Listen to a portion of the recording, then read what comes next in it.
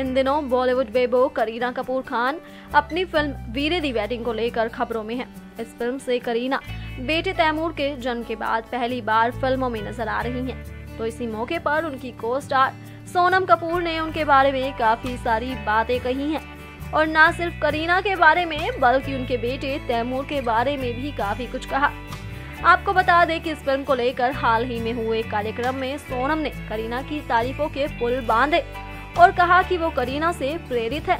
सोनम कपूर ने ये भी कहा कि करीना शादीशुदा है और एक प्यारे से बेटे तैमूर की माँ है। इसके बाद भी जब उन्हें फ़िल्म वीरे दी वेडिंग के सेट पर देखा गया तो वह बात उन्हें बहुत प्रेरित कर गई, क्योंकि माँ बनने के बाद भी करीना काम कर रही है। इस मौके पर सोनम कपूर ने यह भी कहा कि लोग इस तरह का प्रश्न मात्र महिलाओं से ही पूछते हैं कि शादी करने के बाद क्या वह काम करेंगी। नेक्स्ट नाइन न्यूज़ रूम से चित्रा की report